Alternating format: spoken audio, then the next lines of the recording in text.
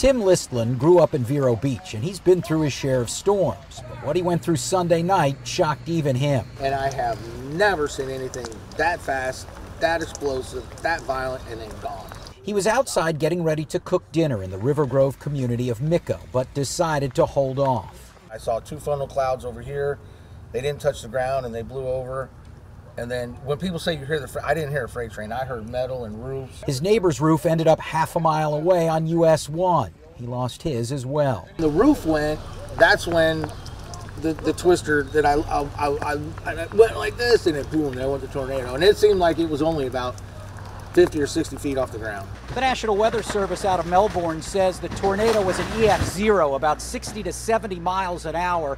It was on the ground for about three tenths of a mile and damaged about two dozen homes here in this community. Between two dozen and 30 homes received some type of damage. In the spirit of neighbors helping neighbors, though, not 24 hours after the tornado touchdown, crews were out cleaning up the scattered debris. A lot of these are elderly people retired on disability.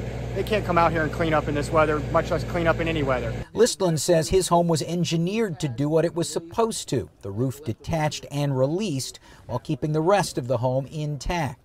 The good news here is no one was hurt, and the Red Cross was on hand Monday, helping residents without roofs now get at least a temporary roof over their head.